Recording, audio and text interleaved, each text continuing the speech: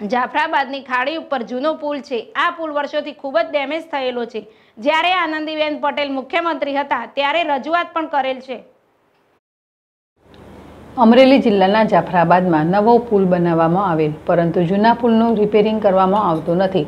અને માણસો તેમજ નાના વાહનો મોટરસાયકલ રિક્ષા માટે ચાલુ રાખવામાં આવેલ છે. પરંતુ હાલમાં આ પુલની મુલાકાત લેતા અતિ બિસ્માર થયેલો જોવા મળી રહ્યો છે. ત્યારે આ પુલ તાત્કાલિક અસરથી માણસો માટે બંધ કરવામાં આવે અને ત્યારબાદ તેનું રિપેરિંગ કરવામાં આવે.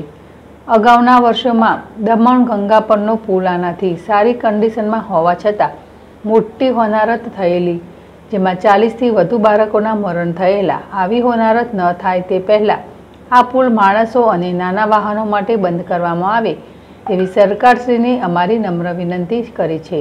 અને તાત્કાલિક અસરથી જૂનો પુલ બંધ કરી નવા પુલ પરથી માણસોને ચાલવાની વ્યવસ્થા કરવામાં આવે તેવી માંગ કરે અશોક મણવર, જેડેશ ટીવી, અમરેલી.